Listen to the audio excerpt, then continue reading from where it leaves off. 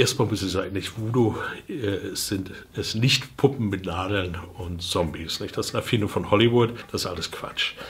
Voodoo ist ein sehr alter afrikanischer Glauben, mehrere tausend Jahre alt. Man kann sagen, Religion fing so an. Das Wort Voodoo bedeutet einfach nur Gott. Wenn sie krank sind, dann gehen sie zu den Gott Sakbata, der Pockengott. Sakbatas Lieblingsopfer Schnaps, sympathischer.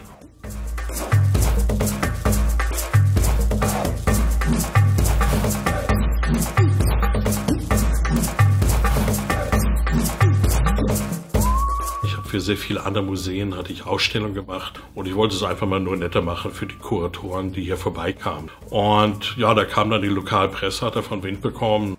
Dann hatte ich mich entschieden, dass ich das dann für die Öffentlichkeit freigebe.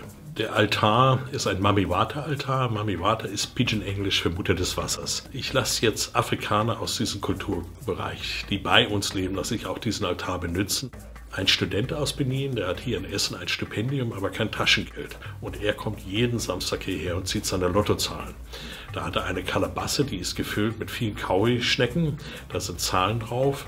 Er bringt ein kleines Opfer, was er sich gerade leisten kann. Es kann eine Flasche Fanta sein, es kann eine Zigarette sein, egal was.